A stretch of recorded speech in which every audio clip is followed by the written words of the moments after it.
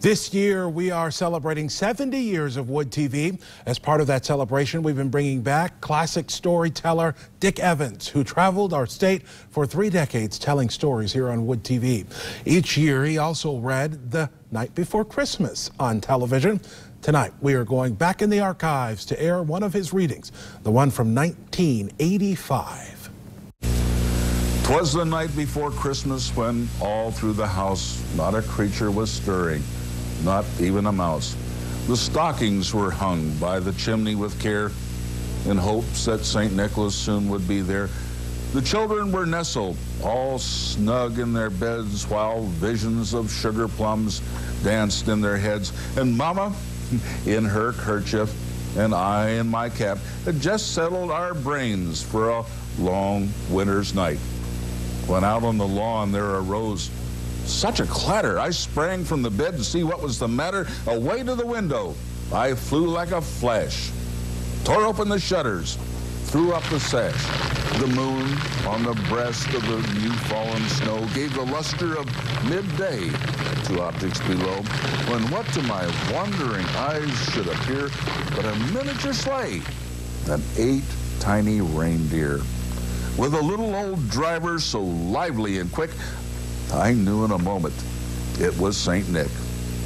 More rapid than eagles, his corsairs they came, and he whistled and shouted and called them by name. Now Dasher, now Dancer, now Prancer and Vixen, on Comet, on Cupid, on Donner and Blitzen, to the top of the porch, to the top of the wall. Now dash away, dash away, dash away all as dry leaves that before the hurricane fly when they meet with an obstacle mount to the sky. So up to the housetop the corsairs they flew with a sleigh full of toys and st nicholas too. And then in a twinkling i heard on the roof the prancing and pawing of each little hoof. As i drew in my head and was turning around down the chimney st nicholas came with a bound. He was dressed all in fur from his head to his foot, and his clothes were all tarnished with ashes and soot. A bundle of toys he had flung on his back, and he looked like a peddler just opening his pack. His eyes, how they twinkled. His dimples, how merry. His cheeks were like roses. His nose, like a cherry. His droll little mouth was drawn up like a bow, and the beard of his chin was as white as the snow.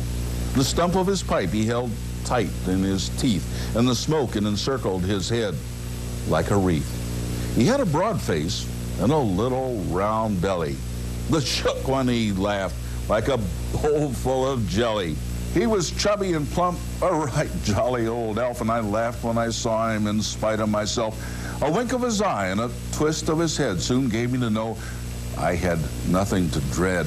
He spoke, not a word, that went straight to his work and filled all the stockings and then turned with a jerk and laying his finger aside of his nose and giving a nod, up the chimney he rose.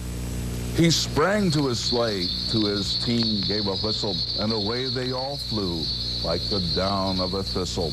But I heard him exclaim as he drove out of sight, Happy Christmas to all, and to all a good night.